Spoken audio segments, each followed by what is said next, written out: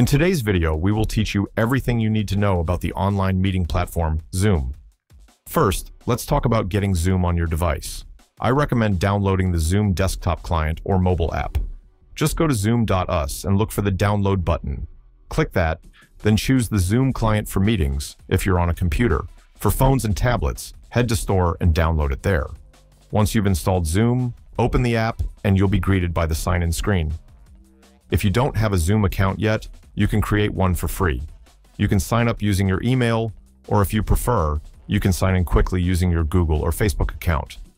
Creating an account isn't mandatory for joining meetings, but it's necessary if you want to host meetings yourself or access advanced features like scheduling and recording. After signing in, you'll see Zoom's home screen, which is clean and easy to navigate. The most prominent buttons here are New Meeting, Join, Schedule, and Share Screen. The New Meeting button lets you start a video call immediately, becoming the host. The Join button lets you enter a meeting hosted by someone else by entering the meeting ID or personal link. The Schedule button allows you to set up a meeting for later with all the details configured ahead of time. Share Screen lets you share your screen instantly without joining a meeting, useful for quick presentations. If you click New Meeting, Zoom will start a video call right away. It will request permission to access your camera and microphone. Make sure you allow these, or others won't be able to see or hear you. When your meeting starts, you'll see your video feed in the center of the screen. If you don't have a camera, Zoom will display your name or profile picture instead. Along the bottom of the Zoom window, you'll find your meeting controls. The first buttons you'll notice are the microphone and camera toggles. You can mute or unmute your microphone by clicking the microphone icon, and you can turn your video on or off by clicking the camera icon.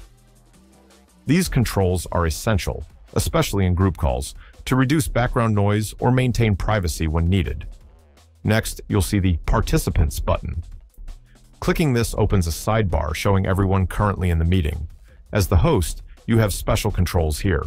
You can mute or unmute participants, stop their video feed if necessary, rename people, or even remove them from the meeting. For large meetings, managing participants is crucial to maintaining order and focus. There's also the Share Screen button in the middle of the toolbar. This feature allows you to share your entire desktop, a specific application window, or even just a portion of your screen with everyone in the meeting.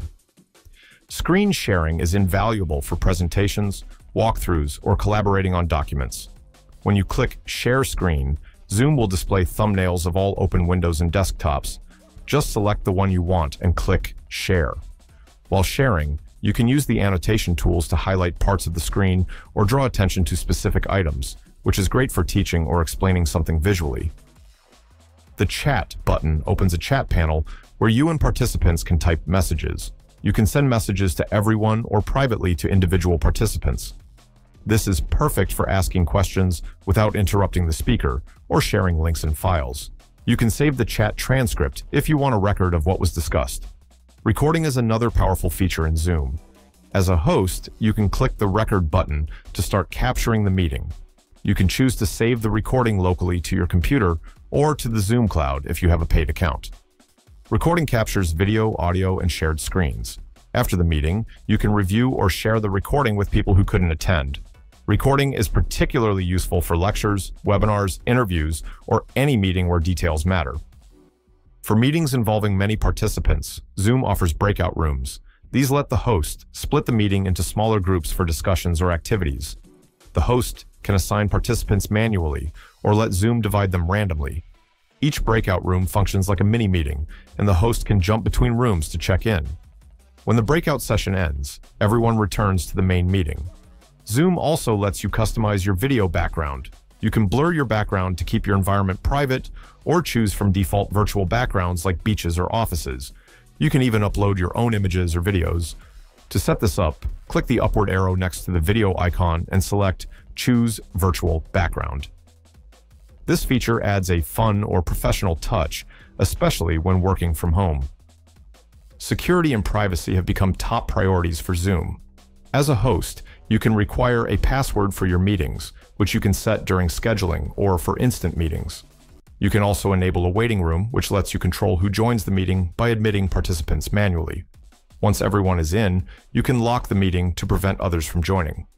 Hosts can restrict participant actions like disabling screen sharing, chat, or file transfers to keep meetings focused and secure. Scheduling a meeting in Zoom is very flexible. Click Schedule on the home screen, and you'll see options to name the meeting, set the date and time, and choose whether it repeats regularly. You can decide if participants' videos start on or off, and whether participants can join before the host arrives. You can add a meeting password and choose calendar integrations with Google Calendar, Outlook, or others, so you can easily send invites. Scheduled meetings generate a unique meeting ID and link you can share with attendees. Zoom works just as well on mobile devices. The mobile app lets you join or host meetings on the go with access to chat, screen sharing, and participant management. The interface is optimized for smaller screens, but keeps all essential features intact. Mobile users can switch between front and back cameras, mute, unmute, and use virtual backgrounds too. For power users, Zoom has many keyboard shortcuts to speed up your workflow. For example, pressing Alt plus A, Windows, or Command plus Shift plus A, Mac, toggles mute. Alt plus V or Command plus Shift plus V toggles your video, Alt plus S or Command plus Shift plus S starts or stops screen sharing. Learning these can save time and make meetings smoother. Accessibility is built into Zoom as well.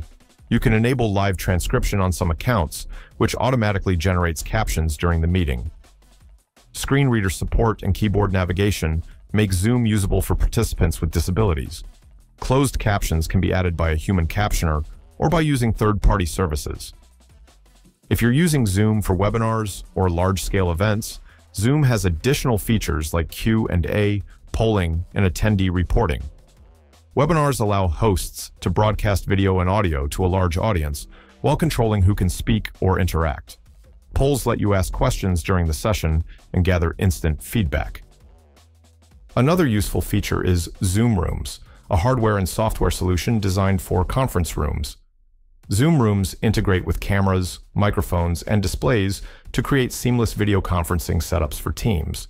If you want to stay on top of your Zoom account, visit your profile page on zoom.us after logging in. Here you can update your profile picture, change your personal meeting ID, adjust security settings, and manage recordings. You can also access reports on meeting usage, which is handy for businesses and educators tracking attendance. Thanks for sticking with me through this in-depth guide. If you found it helpful, please like, share, and subscribe for more tutorials. If you want me to deep dive into Zoom's advanced settings, webinars, or troubleshooting tips, just let me know in the comments. Happy Zooming!